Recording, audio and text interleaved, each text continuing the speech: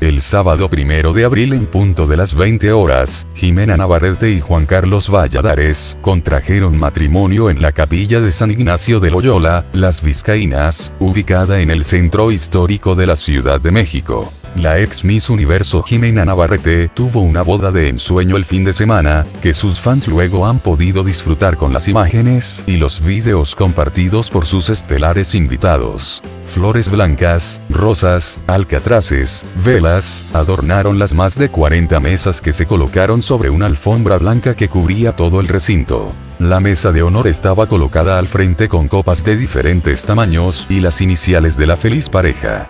Los invitados y el novio llegaron antes de las 20 horas y la novia 10 minutos después del brazo de su padre don Carlos. Jimena lució espectacular con un vestido de su gran amigo, el diseñador Benito Santos. A sus nupcias con el empresario Juan Carlos Valladares asistieron una lista de celebridades de alto calibre como Jackie Bracamontes, Sebastián Rulli, Angelique Boyer, Alejandro Fernández, Daniela Romo quien se robó el show con su interpretación de yo no te pido la luna, en medio de un círculo de baile. A juzgar por las fotos, el banquete tampoco dejó descontento a los invitados.